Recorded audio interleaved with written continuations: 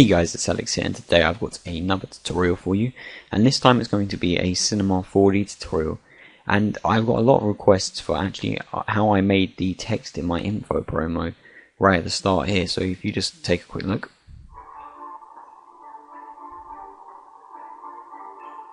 So what I'm going to be showing you how to do is just here if I can tr I'll try and get stop it on the point. But basically where where it comes in here how it all the the different letters are individually rotated and they fly in. And um, also, I will show you another technique which uh, I, found a little another effect out that I think looks quite cool. So I'll just show you that as a bit of a bonus. Um, now this is very simple. It's trust me when you when you see it, it's really not that hard at all. But for someone who's new to Cinema 4D, they might not be aware of all the different tools that you can use. But so let's let's start.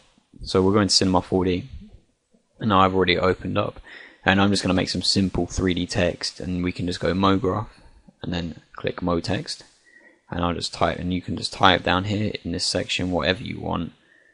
I'll type Revoss, and I'm just going to put it up to about 75, and to make it look a bit better, you can always add some fillet caps, like that. Now just give it a bevel on the edge I'm just going to align this in the middle.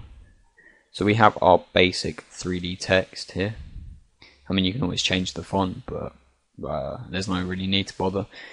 Um, and the first one I'm going to show you is what I used in the promo, and it's just a random effector. So we're going to make a random effector. So we'll make sure your text is uh, selected. We're going to go to MoGraph, Effectors, oh, Effectors, and then random effector. Now you can see that it randomizes them at first, but if we go to our parameters, that we don't want the position to move. Well, you could, but obviously there's so much you can play around because then you can have scale, all sorts. But we only want the rotation for this case, and we can just put random numbers in here. So I mean, I just put 90, and I could put 45, and maybe minus 25 and as you can see it just gives it a completely random rotation. And this could be used for maybe backgrounds. Maybe you not do it as that har harsh as that. So smaller numbers and you could have some really nice rotation because otherwise you'd have to make your text editable and then rotate the individual letters which can be very time consuming. But so we want to now animate this to come in. And if you go into your effector you actually see that there's a strength. And if I was to move this up and down you can see that then at zero it's just how it was before but if it's at 100 it's random. So if we go to say zero we can keyframe the strength by pressing control or command if you're on a Mac the strength button here or you can just right click and then go animation add keyframe. And if we go to maybe 30 frames so that'll be a second if you're working in uh, 30 frames per second uh, we can then just make it zero and then again control click. And now you can see that it goes from random to normal. And then we can also click on our text there. We can press the keyframe button down here. And then so it, stays there. And if we go to the frame one and we can click on this little top view uh, this little panel this will give us all the different views. So we got top front uh, front and then the right view. And then we can just push our text back like this until you can't see it, so it's out of the screen, and we just hit the keyframe button again. So now if we just open up our front view again, our, our active camera view, and now if we look, as you can see, these letters all then come together, which looks really nice, and if you add say some motion blur, you could also, you could do that in Cinema 4D, I've never really looked at it before actually, but I believe there's, yeah here you go, so you've got scene motion blur, and you can add that, or you could uh, just go into After Effects after you've rendered it all out and add some real smart motion blur, for example. But that is basically what I did. And now I'm going to show you another quite cool technique that I've uh, thought of and I found out. So I'm just going to delete these uh, keyframes and I will delete the effector. And I need to move my text forward again. Just move that into the screen like that. So first of all, what I'm going to do is I'm going to go MoGraph, Effect, and then Shader. Now this can be used for quite quite a lot of things actually. But I'm just going to go to the parameters. At the moment it's on scale, but I want position. So I'm going to click the position, and I'm just going to make, uh, say, the white, because I want it to be below so you can't actually see it, but you could also have it up high. So I'm going to make this minus 500. So now it's off the screen. So as you can see, if I zoomed out, it's there. So now it's off the screen. I'm then going to go to effect. Uh, bear with me. I've forgotten where it is. Um,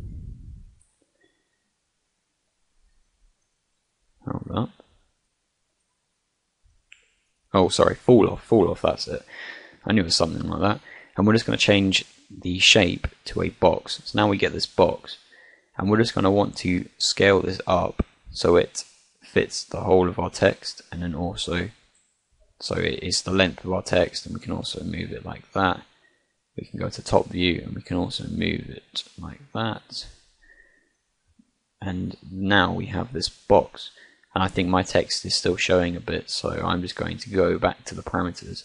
I'm going to make this maybe minus 650 so now it's out of the screen but now if you look as you move this box you can see that the letters start to rise up like that so what we can do is we can keyframe it so it's there at so we go to zero, we keyframe our shader by pressing the keyframe button. And we can go forward to 30 frames, and then we can just move this all the way across. And when everything's in the right position, we can then keyframe that.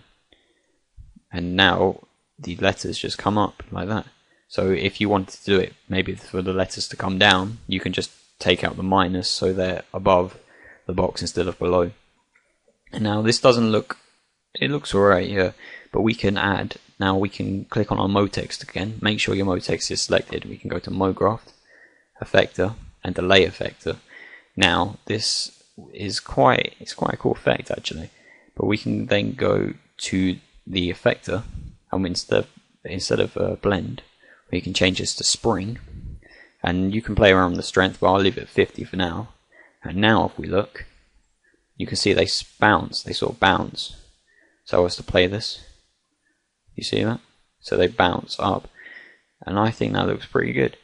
And that is basically it. So that's just a basic animating, uh, like bringing text in and animating text in Cinema 4D.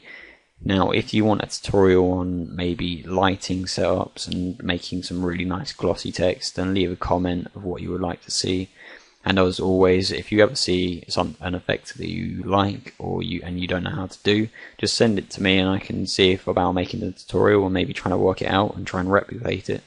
Replicate it. So that is all, guys. Uh, that was just a quick tutorial on Cinema 4D animating for text.